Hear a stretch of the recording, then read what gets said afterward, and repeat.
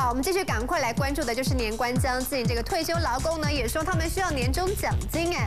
现在呢，立委卢秀燕她提出了说将要提案修法，不仅退休军公教有一笔年终慰问金，就连退休的劳工他们也可以领年终奖金，到时候要比照薪资来提拨百分之六到百分之十二的劳退，当做退休之后的年终奖金。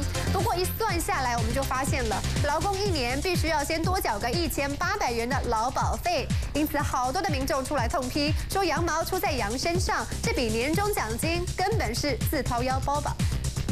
在此期间，你愿意为你将来退休以后也有年终奖金的话，那你自己是不是有权利？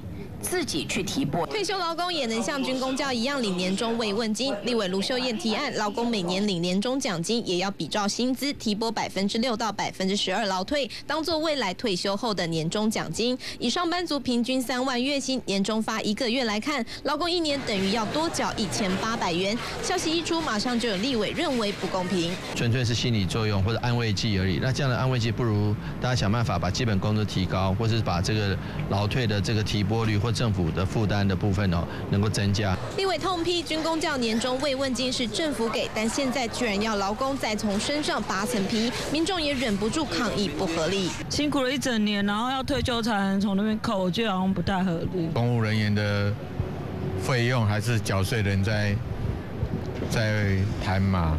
大家公平原则。经济不好，年终都可能领不到。看来退休劳工年终奖金的法案还没通过，已经阻碍重重了。东森财经新闻李春张博祥台北报道。